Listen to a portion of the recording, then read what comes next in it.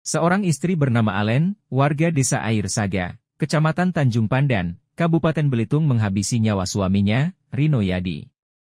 Kejadian ini terjadi di rumah keduanya yang berada di Jalan Bunga Desa, Desa Aika Saga, Jumat, 2 Agustus 2024.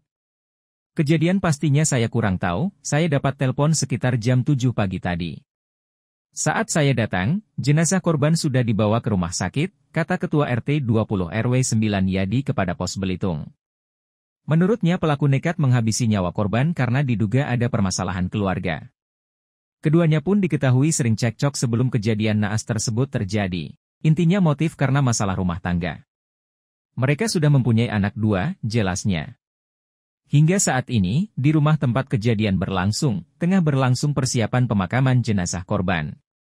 Tetangga, keluarga, dan rekan korban pun berdatangan untuk melayat. Download Tribun X sekarang, menghadirkan lokal menjadi Indonesia.